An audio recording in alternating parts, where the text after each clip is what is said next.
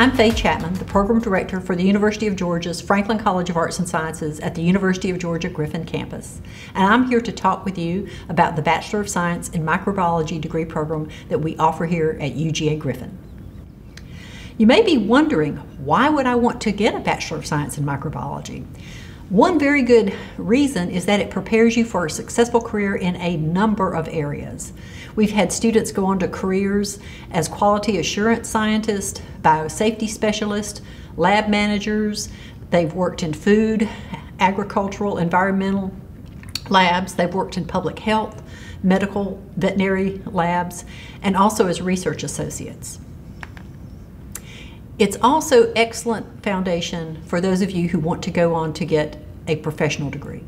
If you're thinking about being a physician, a dentist, a veterinarian, a physician assistant, a physical therapist, an anesthetist, a research scientist, a consultant. This is a solid background to prepare you for those fields and to get into the graduate programs and professional schools that will prepare you for those careers. But you may be wondering, why should I choose the Griffin campus? Well, we think that there's some very good reasons. We are a very small campus, so you get to enjoy a small college atmosphere. Your classes will be small, so you will enjoy personalized instruction. Also, there's the fact that you'll be getting a UGA degree, and UGA has a very strong academic reputation across the nation. You'll also be joining a very large group of Franklin College alumni. It's now over 110,000 and a lot of UGA alumni, uh, well over uh, 325,000 worldwide. So you'll have quite a network to take advantage of. And one thing we added at the bottom is to let you know that yes, if you're a student here at UGA Griffin, you can get football tickets. We get asked that all the time. Now, in terms of the degree itself, here are some things you might want to know. It is a Bachelor of Science degree, and in the major itself, you'll be taking courses like these an introduction to biochemistry and molecular biology, genetics, introductory microbiology, introductory microbiology lab, basic skills in the lab, prokaryotic biology. By the way, all of those that I've mentioned so far are required courses. Pro, uh, excuse me, pathogenic bacteriology, directed research, plant microbe interactions, and soil microbiology. So let's think about this. Is the UGA Griffin microbiology degree right for you? It is a degree completion program. That means you can't come to us as a freshman, unfortunately.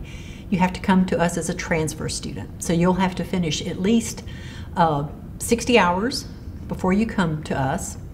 And you will take the last 45 to 60 hours of your Bachelor of Science degree here at UGA Griffin with us. If you're a full-time student, you should be able to finish the degree in four semesters. All of the lectures are on campus. Of course, now that we're in COVID, things are uh, online or remote right now. The classes meet two days a week, either Monday, Wednesday, or Tuesday, Thursday. However, in your senior year, you will be required to take a class in the fall and one in the spring that meet on a Monday, Wednesday, Friday schedule. In terms of the entry requirements for this program, there are some things that you definitely need to know. You must have completed at least 60 semester hours of transferable credit before the application deadline. You need to have a 2.8 or higher transfer GPA, and this is the GPA as it is calculated by the UGA admissions office. Uh, the reason we say that is that it may not be the same as what appears on your transcript. Uh, for instance, maybe the college that you went to gave you a grade in a course like PE. UGA doesn't.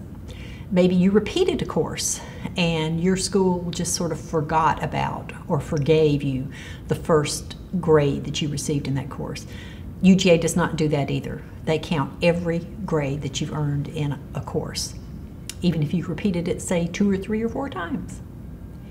You must have graduated from high school at least 12 months prior to the term you intend to enroll, and you must have completed at least one year of college by the term you intend to enroll. There are also some courses that you must complete prior to entry. Pre-calculus, biology 1 and 2 with lab, and this is a biology sequence for science majors. Freshman chemistry 1 and 2 with lab, and again, this is a uh, lab sequence for science majors. And then organic chemistry 1 with lab. And if you would like to get a more detailed list of degree requirements in terms of core university requirements, Franklin College graduation requirements, you can find that in the UGA Bulletin. In terms of meeting the requirements for graduation, these are some things that we have to keep in mind as we work with you while you're here. The minimum number of hours required for a bachelor's degree in the University System of Georgia is 120 semester hours plus one hour of PE. You'll have 60 semester hours of core coursework. You will take 35 to 36 hours of coursework in the major itself. You'll have 11 to 12 hours of major electives, and then you will have 12 to 14 hours of general electives. UGA also has a residence requirement, and it stipulates that 45 of your last 60 semester hours must be UGA credit. And I will work with you as your advisor to make sure that you fulfill that requirement. And in terms of core, uh, required curriculum, there are core areas one through six, there are major requirements, major electives. The university has specific uh, graduation requirements like the U.S. and Georgia history requirement, the U.S. and Georgia Constitution requirement. And then the Franklin College itself has some graduation requirements. And as an example, I'll just mention the foreign language requirement.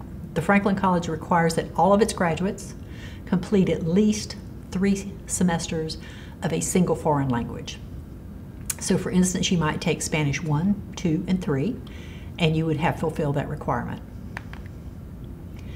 In terms of how to get started, one thing you might want to do is to go to this link and complete a readiness check. This is a place where you can upload unofficial copies of your transcripts.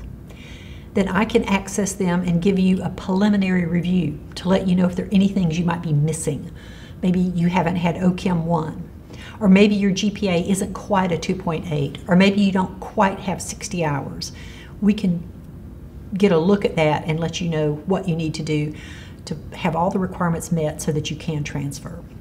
And if you are eligible, if you've got everything out of the way that you need to, then I'll let you know you're good to go and you should go ahead and submit your application.